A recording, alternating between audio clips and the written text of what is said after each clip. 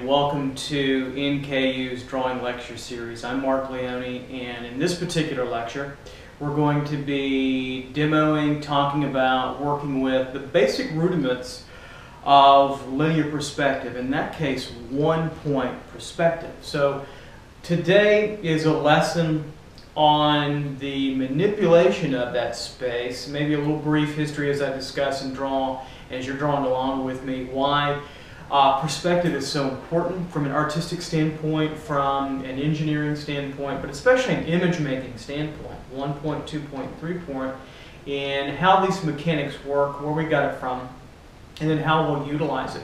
So these lectures, one point, two point, three point, as we go through, will be the basic fundamentals, and later on, if you want to get into more advanced study, we'll do that in intermediate. Um, as well as your own studies, and I can help you out anytime that you want. So let's go ahead and get started. The first thing we're going to be looking at are cubic structures because they can stand in the place of anything that you want to draw, whether it's a, a cube, obviously, or a building, or an animal, or a tree, or the human figure. They all can relate back to a simple cube, a simple sphere, and a simple uh, cylinder. So let me go ahead and, and, start sketching a little bit so you can see that. So a simple cube, uh, you know, where do you know how to thrust the angles of a simple cube? Well, through enough time and exposure to perspective, we understand, we come to understand that this plane here is a very flat plane across parallel to uh, the audience, but this plane here moves back in space to a ending point or a vanishing point way out, maybe in this case on the horizon line. Later on you'll learn that it doesn't have to be on the horizon line. So these are important things to realize. So a simple cube, a simple sphere, you'll hear me say this a lot in class and out of class. And so there's the sphere here in a simple cylinder. You can build anything you want in a drawing and make it believable, whether you're using human figures or not, or abstraction, etc., and so on. These, these become very important forms for the artist, not only in drawing, but in sculpture, design, film, etc., and so on. So after we understand these three basic forms, the next principle we want to start to understand is our point of view. Where are we located in relationship to the object? So I'm pretending like you are the one looking at the cube, which you are now. And so the next phase to understand is the cube in your relative eye level. Do you see the top or bottom? And if you don't see any of it, the form is then relative to your eye level. I can't quite tell where you're viewing it, but hopefully you're in top or bottom. Now, if the cube is below and you see the bottom of this one point cube as I turn it, as I move it to the side, notice I'm not turning it, so you're always getting that flat plane. If you see the bottom, or excuse me, the top of the box, it's in the ground plane. If you see the box and you can see above it and you can see the bottom of the box, it's in the sky plane. So all these relative positions, no matter what the box is doing, because later on I'll show you you can do all of this.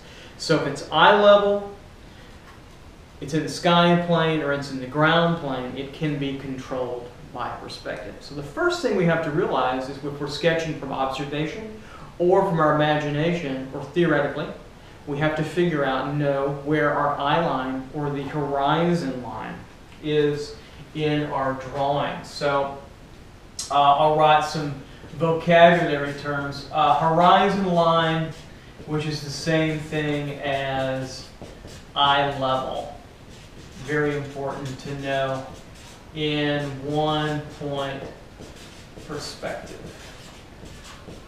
Okay, so we've got that. So we're going to establish eye line and eye level. So let's do that first. Let me step out and get some material to draw with. So as we're drawing, you draw along with me accurately as you can to my composition or my compositions as we as we draw here. So I'll um, I'll set out a picture plane uh, here, this will correspond to your, your drawing as well that you'll do. Your, your drawing will be 18 by 24. Mine will be bigger because this lecture is, is larger. It covers more space. So I'll set out my picture plane here. Yours is already just a piece of paper, so you'll have to bear with me for a moment. As I come down.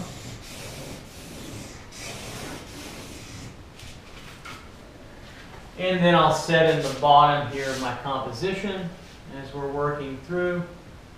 And so today we'll work horizontally.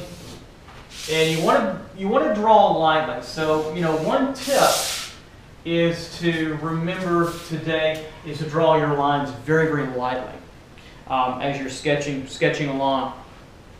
So keep that in mind. A light touch and very, very sharp pencil will help you out. Okay, so the first thing we want to establish in our composition is our horizon line or the eye level of the reality of this drawing.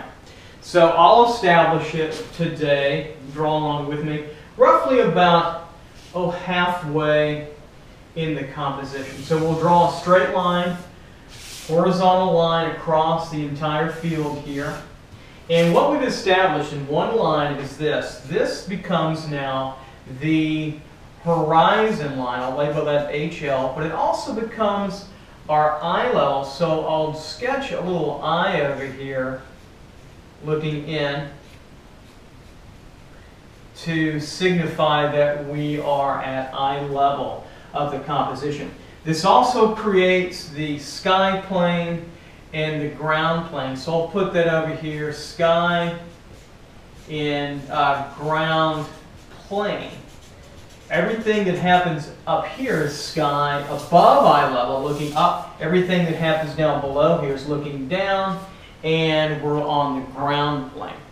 So what we're going to be doing now with this particular drawing is creating a one-point interior. So it's as if we're inside now this box form. I'm in my office right now drawing, and I'm inside a cube. You're inside a cube somewhere, and so we want to draw as if we're inside the form. One point perspective will help govern that. So let's do that. And it's going to look like this. So here's our picture plane.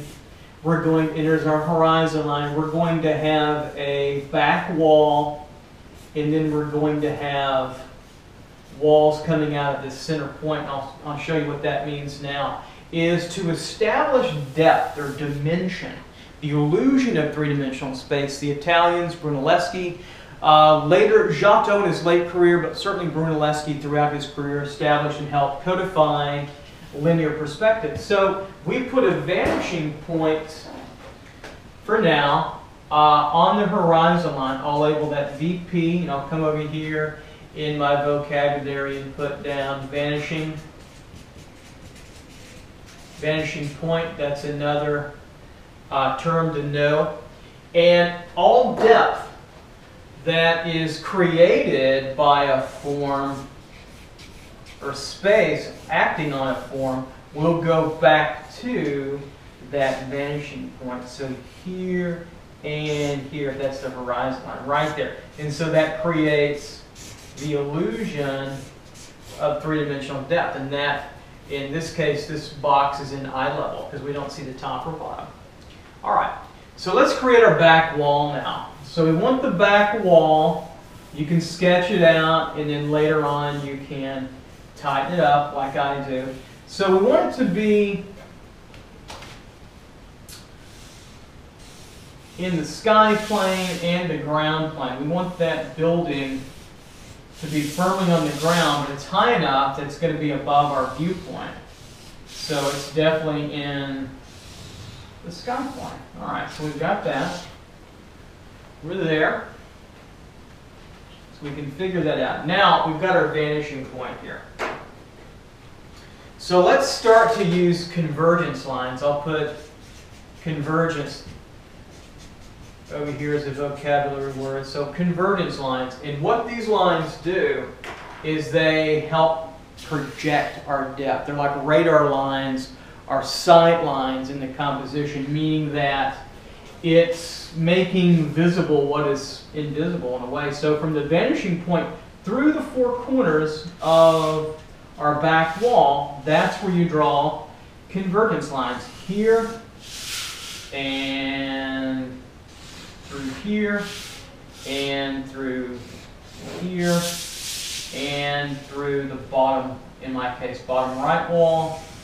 And wherever they land out here, so be it, it doesn't matter. It's not important. What's important procedurally for this uh, very basic one-point perspective uh, lecture is that they go through the four corners. They have to go through the four corners. Now, let me trace over the room here and a little bit darker red so you can see it here and here. And now what we've established in our drawing is the ceiling. This area is the ceiling.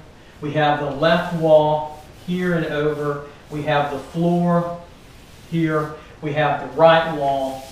We have the back wall. And now, because we can't see through, we still know the horizons through there. We have sky plane and ground plane. So now we have an accurate one-point perspective room that we can start to place objects in forms in our composition. So we have eye line, eye level, we established sky plane, ground plane, use of a vanishing point, and now convergence lines to help our forms uh, in space to, to feel real and, and have the illusion of depth and one point perspective. Okay, let's start to now make some cubic forms. We won't just stick with